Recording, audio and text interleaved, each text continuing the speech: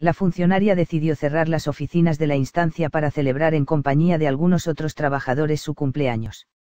México El fiscal general del Estado, FGE, en el estado de Guerrero, Javier Olea Peláez, ordenó la destitución de la titular de la agencia del Ministerio Público MP de Mocimba en Acapulco, por determinar que la funcionaria incurrió en la comisión de conductas inapropiadas en las instalaciones de la dependencia.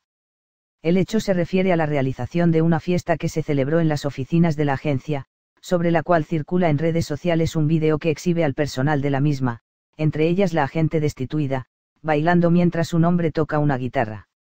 En el clip, los trabajadores incluso una de las participantes de la reunión señala hoy no es día de trabajo, tras lo cual invita a bailar a un hombre que permanecía sentado.